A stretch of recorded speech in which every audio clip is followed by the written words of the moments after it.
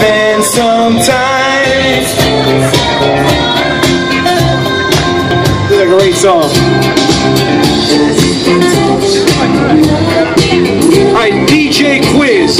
Who did vocals on Slave? Who can answer that? Yeah, you- you're a newbie, that's why. You know who did it? Steve Arrington.